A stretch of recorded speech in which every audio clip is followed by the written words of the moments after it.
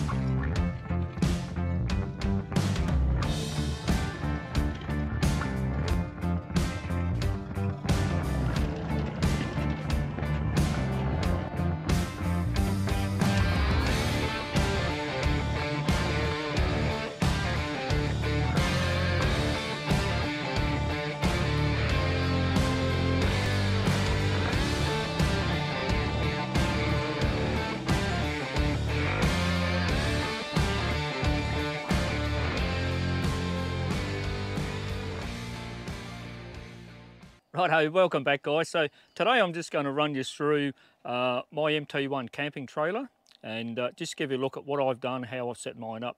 Now, when I looked at trailers a couple of years ago, guys, I could not believe the price that they was charging for a camping trailer. It's not even a caravan. Um, and then on top of that, the biggest thing for me was, of course I live right up north of WA, was paying for the freight from over east coming all the way across. Some guys wanted $10,000 just in the freight itself. Option for me, drive across there, five days driving, five days back, plus the fuel on top of that. You know, I'm, I'm still blowing the cost of a trailer right out the window, more than what I'd ever thought about spending on it. Then I seen the MT1s coming up. And I thought, hello, look at these. Look at what they've got. Those ticking the boxes. Slide out kitchen. They've got the water tank. Uh, the chassis frame's heavy built and the storage alone, it's probably still one of the best or most available storage that I've seen in nearly every camping trailer that's out there. So let's get going guys and we'll have a bit of a look at how I've set mine up. Righto guys, so let's start up at the front. We've got the DO35. Now this is a full rotation, 360 degree rotation here. Very simple to put on. Push these in. When you drop it down, push a little button and it flicks back out and locks itself in. These are one of the best on the markets for any type of caravan or trailer. They come with a standard jockey wheel. Now this one here, it's not a fold away. You have to undo it, take it off and put it away. The fold away ones that just fold up on the side or twist up on the side, I'm yet to set one of them onto there. On the front, we've got some great storage. We have a gas bottle on one side. On the other, on the other side, we have twin jerry can holders. They're in the front here, guys. I'm just currently using this for the toolbox area. My little Husky chainsaw. Gotta love a Husky. Jockey wheel sits in there, toolboxes go in there. Any other bits and pieces that I don't normally use get locked away in the toolbox. Come over to the slide out kitchen here guys. Now very early in the piece I was running a 95 litre Brass Monkey fridge. Now, I'm not going to bag out the Brass Monkey. I've done several trips with it and it was a fantastic and a great fridge. But over a period of time, and I'm not sure whether it's the 40 plus degree heat up here, it kept on cutting out on the compressor and coming up with a fault code. So I've had this trip planned for a few months and uh, I was not going to be 400 k's in the middle of nowhere with a fridge that breaks down. So I went for the Dometic. This is the CFX range, Dometic 75 litre, great fridge. compatible with your phone, run the Bluetooth off the phone and it runs perfect. So slide out kitchen guys, this is a great little kitchen. I do use a Campmaster twin, just dropped a little can into there. Good thing about these guys is they slot on, low wind going through there, kettle or saucepan, whatever you want under there. And then it's just got the little uh, collapsible sink there. Now we do have, I believe it's 100 litres of water underneath. Okay, that runs on the pressure. As soon as you turn your tap on, your water comes out. And then the front here, just where I keep all my knives and bits and pieces I use directly for cooking. So into the pantry area guys. Now this pantry area here is set up, it's an optional when you first get the trailer to come in. Uh, pantry area is set up. Now I've done a fair bit in here. I've put in a little PowerPoint in the back. You can see for the speaker, move the speaker out of the way. So I've got a PowerPoint there which runs off the uh, 1500 inverter on the other side. I've set up some Anderson plugs here, 12 volt Anderson plugs that I use for the kick-ass oven, plugs into. And then my light set up here for the uh, Hardkorr lights that are up here. Now these are multicoloured guys. Have the bright white, the off-white, or it goes on to the orange. As we can see, there's the orange colour there. This is great for out in the outback, keeping the bugs away. I uh, just run a little coffee machine. Again, that goes off my 1500 watt inverter without an issue. That runs quite well. Uh, just a couple little containers there. The one on the end from Kmart. This one here set up. Knives, forks, plates, bits and pieces. And then the food is in all the others that are set up here. In the background, a couple more there. Top one's just with a toothpaste, shampoo, soap, whatever I need if I feel like I want to be uh, nice and clean in the middle of the bush. Okay, around the back here, guys. Now on the tailgate here, I, when I set up for camping, I just stick my uh, some utensils and bits and pieces up there.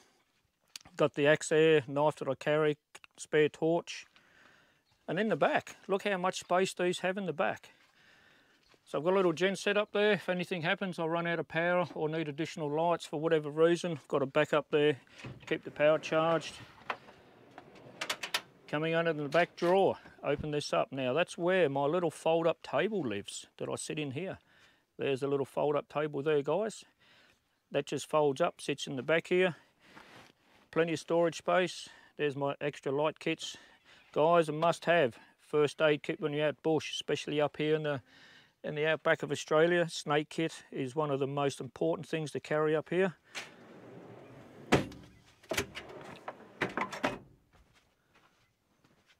Now also I run the Darche 270 awning.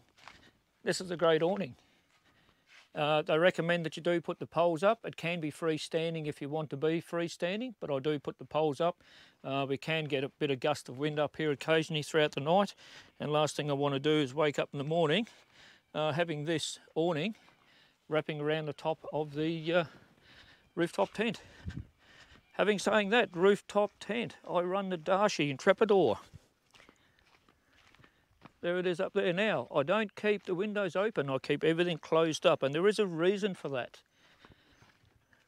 There is a reason for that. The reason is, inside, I have one of these. Turn this around have one of these little air coolers, mini evaporator cooler. So fill that up with water. I'll run the cable off the front here, which we'll get to this in a minute. Power cable goes in and that keeps that nice and cool up in there.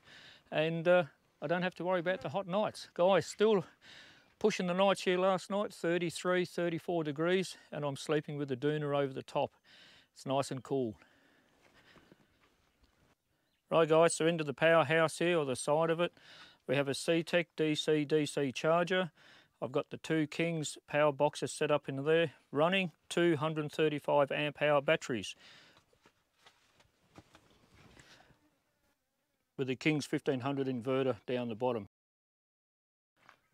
Now up to the rooftop tent for a quick look inside and I'll show you the little mini cooler, air cooler that I have.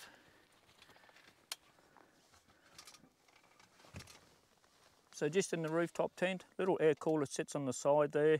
ticks away and bring the power up through this join here or where the framework comes up out of.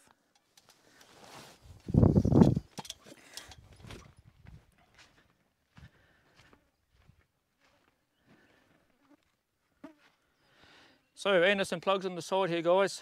Top one is for the input for the solar panel. Bottom one here, I have this hook straight into the batteries.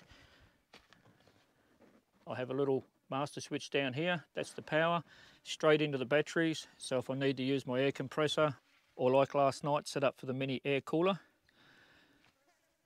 Now on the front here guys, I run the little kick-ass shower tent. So that just swings around to the side, set that up and uh, when I'm out bush there have a shower which I uh, will be doing a bit later this morning before we head off. They're also on the top guys I've set up Hardkorr 170 watt solar panel. Now I've just come up with a new design here that I can actually run two panels. The panel here is the new one that I've put on the last couple of days. That is actually swing around so when I set up the tent it sits up the top there so there's my second one guys. That's set up over the front there. And that's designed so it swings away. Have the little pole there that it swings in. So when the rooftop tent's packed up and I'm travelling, I then have two 170 watt solar panels powering up the battery box. Now in this side here guys, I've actually put in a couple of the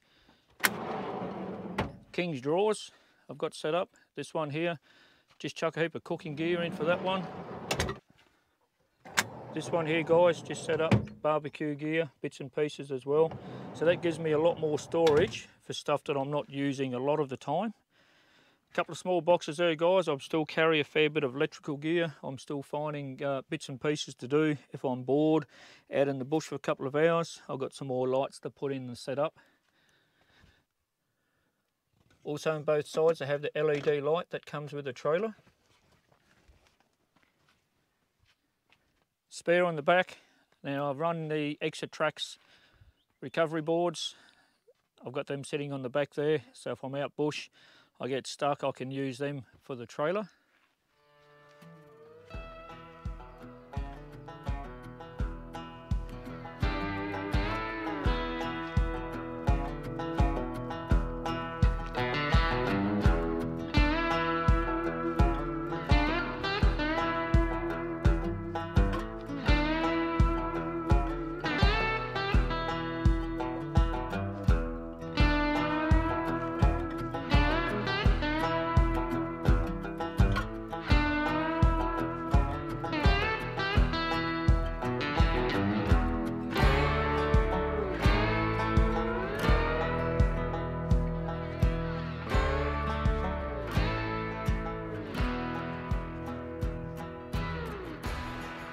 So I'll just give you uh, a bit of a look how this swing away solar panel works. So it just goes back around.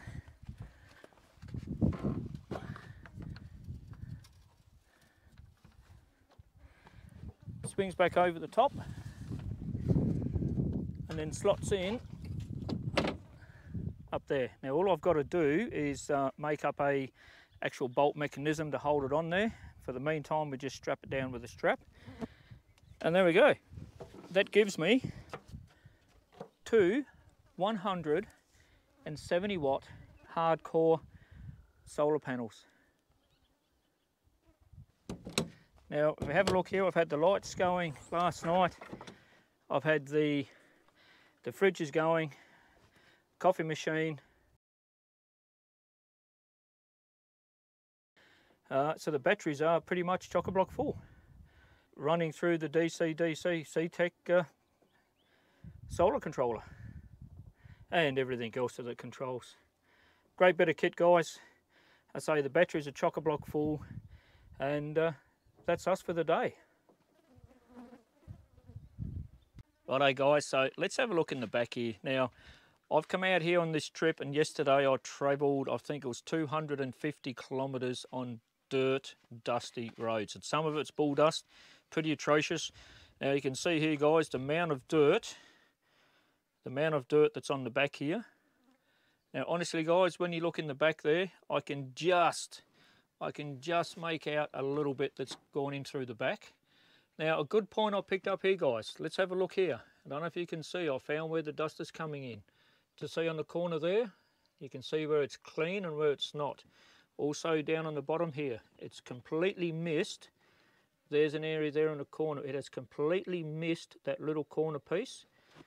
Let me have a look here. You can just see, just see the dust here coming in on that corner. Right, now it's just catching here. So I think I'll need to put a little bit more rubber in there. And we also see in the top here, just see here where it's missed. This is where the dust will be coming in right on the corners right here and just down here. But apart from that, guys, like seriously, look at the amount of dust here. Apart from that, there's not really a lot of dust going in anywhere. Just see on this corner up there, you can see the mark. Now, hot little tip, guys. What I do every time I'm out and I stop and open up is I'll get the wet rag and I'll just give these a nice clean with a bit of a wet rag there, just to get all that dust off. Back around the seals on all the doors and that'll give you a nice clean seal ready for your next day's adventures. Righto guys, so I do run a couple of stabiliser legs under the back here. These are the AL-KOs, uh, I believe they're the 740 mil or something length. Uh, now I didn't actually put them down last night because I'm still hooked onto the back of the four-wheel drive and realistically, for me by myself last night, I'd never noticed it at all. That's us all packed up. Now, hot little tip, just remember, if you've been out on dusty roads and you know you're going back out again on more dusty tracks, just open all them doors up before you leave. Literally takes two minutes with a wet rag and just wipe down each one of them seals on the doors.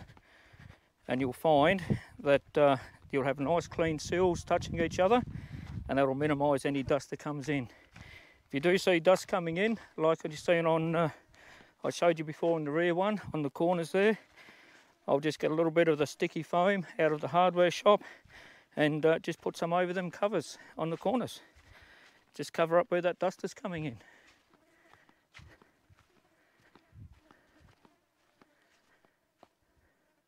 Well, that's me done. And uh, we're heading back off and trying to find this great little spot I'm going for. It's a little sinkhole up here that's got a fairly big extensive cave system underneath it. So until next time guys, we'll see you somewhere beyond the black stump.